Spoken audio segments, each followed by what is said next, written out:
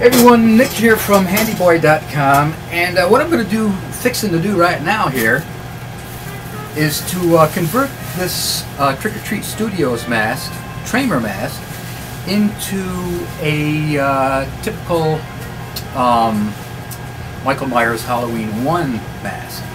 And uh, the first thing we're going to do is we're going to rip the Tramer hair off Um, sometimes it comes off easy. Sometimes uh, you know you have to uh, you have to really pull at it. Some pieces can be pretty stubborn, like this piece. okay, the next thing to do is to uh, prepare the uh, mask for paint. Now, having worked on several other masks from Tots, I have found the paint very hard, if not impossible, to remove. So what I have, I have some lacquer thinner here, which I usually use to take off. It works on a lot of paints. But since this paint does really not come off, we're going to just kind of etch the surface of this paint here. It's, it's not coming off at all. And uh, this will prepare the surface of this bluish paint for um, the white paint that's going to go over it.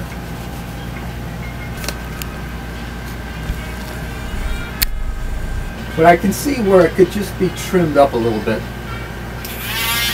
So that's what I'm going to do.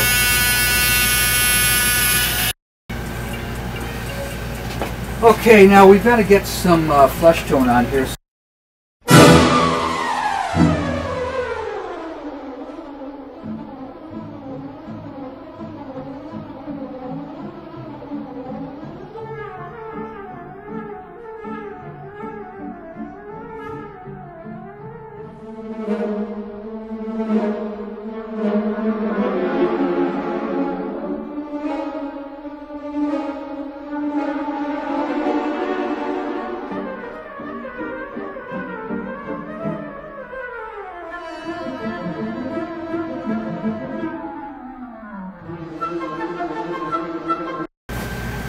Take a little, I've got a little naphtha on a piece of cotton here.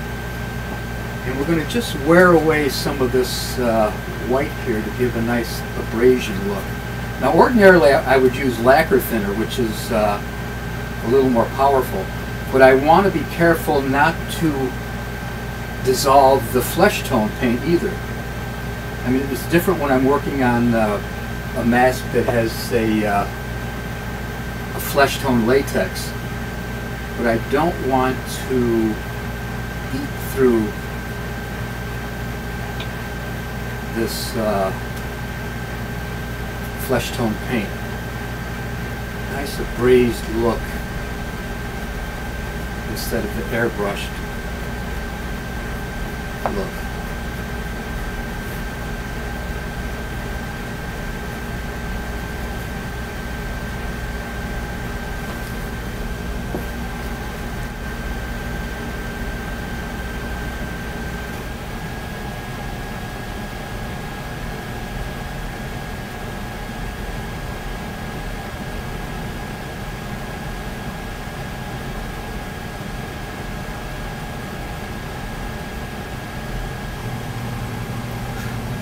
Okay, time to do some weathering here.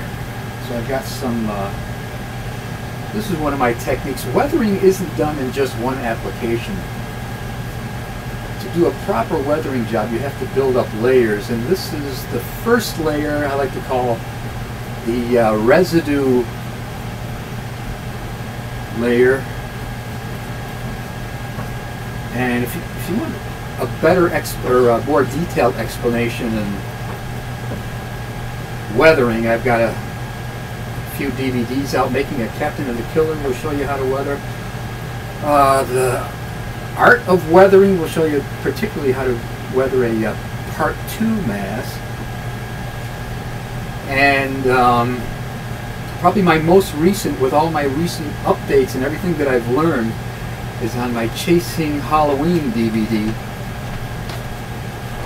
You'll really get an in-depth look at um, the weathering process and a better explanation than I'm doing right now in this quickie video.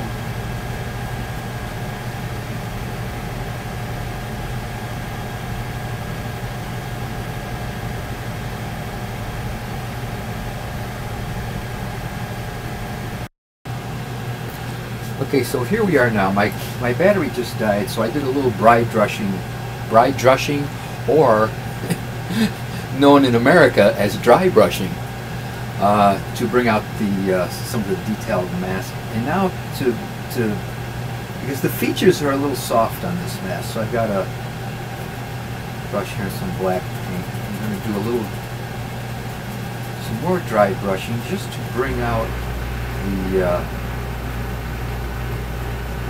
the features, the cheekbones. Turn this light off up here. Okay. I always test it because you don't want too much paint on your uh, brush. And it's best to keep this just very subtle.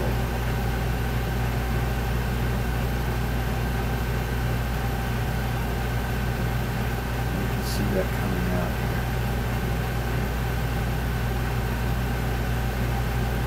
And uh, like I said before, if you want a uh, better detailed look at what I'm doing, um, my newest DVD, Chasing Halloween, has a lot of mask making and a lot of Halloween fun. I call it uh, a mascumentary about enjoying the Halloween season, making masks and you know enjoying the Halloween season.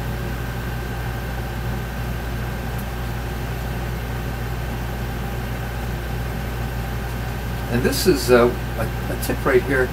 This is a makeup brush. You get these in the drugstore. Go to the makeup department, the ladies' makeup department, because I don't think there is a men's makeup department. But go to the ladies' makeup department, and you'll see them in drugstores, grocery stores. They should be on a rack. And makeup brushes, they're they're very inexpensive. This one was a dollar. And I'll tell you why I like them because the bristles are so soft, and it gives you such uh, it gives you it gives you uh, a greater blending capability. Okay, we're now ready to put on the hair here.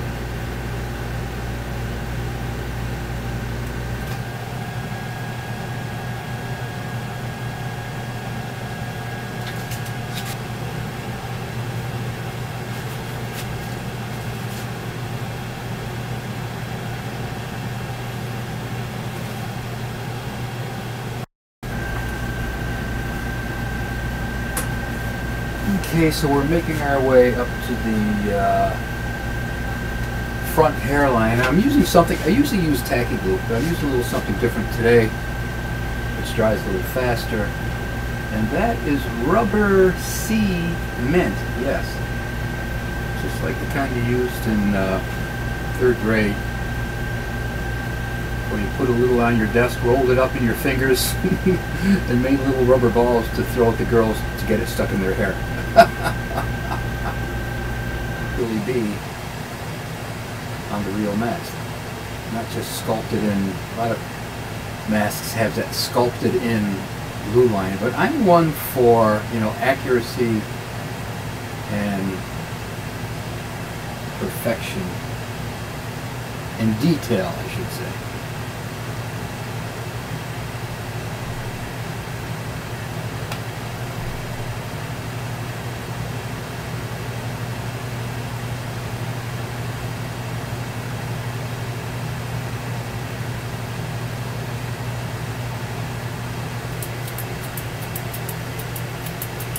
And a little uh, bit of trivia here. I'm actually using a little bit of hair from my little dog Poopsie Pie, who just got a haircut. And her hair is very fine, very similar to mohair. so, I'd put it to use. Maybe I'll, maybe I'll start selling Poopsie Pie's hair to uh, hair masks with if there's ever a mohair shortage again because every now and then there is a shortage of uh, mohair and uh, camel because these are the I guess they're the two most popular hair fibers to use on masks. And sometimes they're just in very short supply. You got to wait for months to get them. So maybe maybe uh, selling Poopsie Pie's hair in a hair shortage will be a good second business.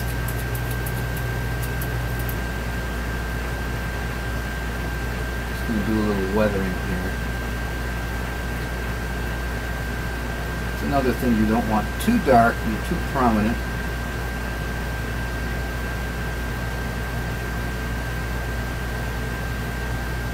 You notice the different uh, shapes of the two glue lines.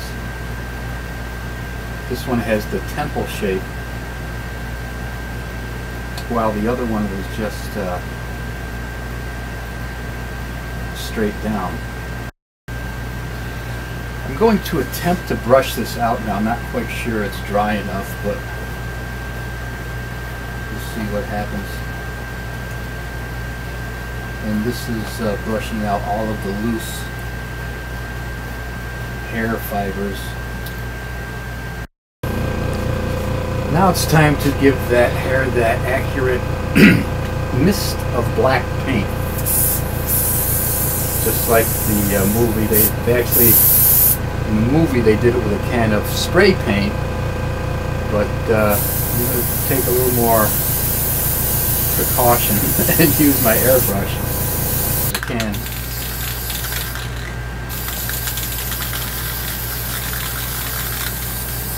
And you want to have some of that brown showing through. You don't want to you don't want the hair to be completely black because then if you wanted that you could use black mohair.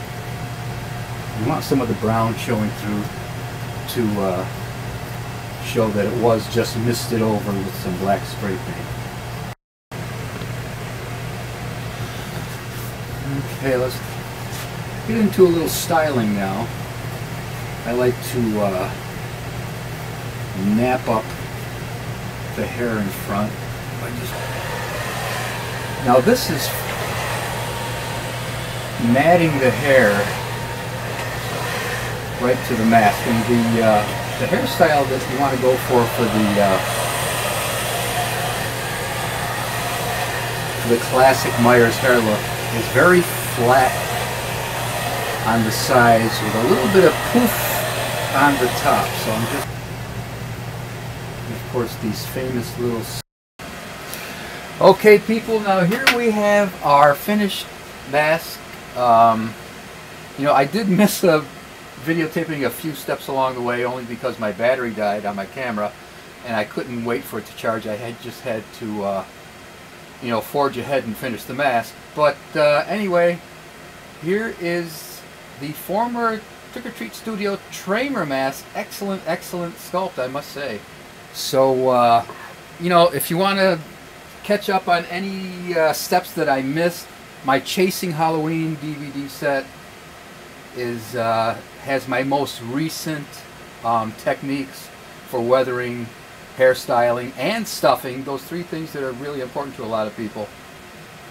So, uh, hope you enjoyed this little conversion, and uh, let's have a hand for Trick or Treat Studio for making some good masks out there.